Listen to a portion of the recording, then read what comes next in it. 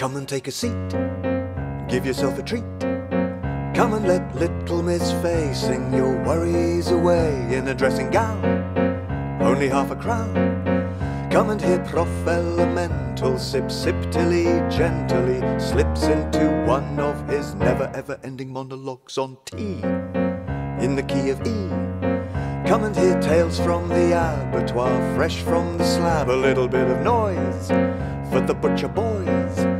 Office by Dora a fly, we could all watch it die while the wild man idly scares the living daylights out of anyone unfortunate enough to blunder into his path.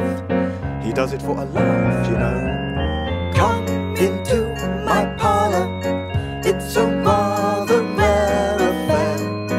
A malignant melodrama starring a very hair. It's just a little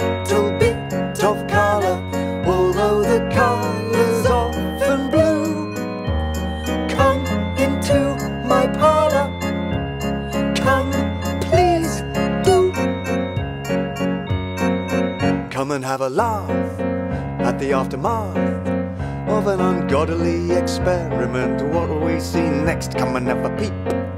Make your flesh creep. Come and catch Archibald Floss and his queer curiosity, sordid, morbid, more than just a little bit unsettling considering the murder of his colleague Dr. Buff in Kuala Lumpur in possession of a shrunken head. So the lawyer said, a rather rare affair.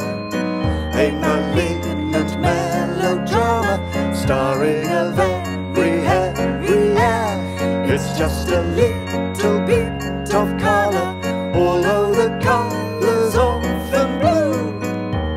Come into my parlor, come, please do.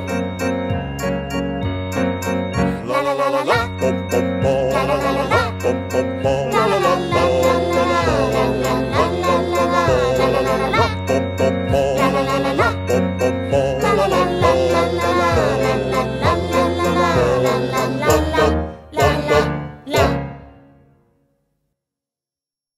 Come and have a sniff, catch a little whiff.